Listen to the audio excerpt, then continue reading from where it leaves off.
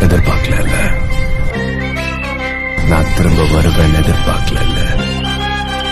அதுவும் இப்படி வருவேன் எதிர்பார்க்கல. நான் இட்ஸ் மை game!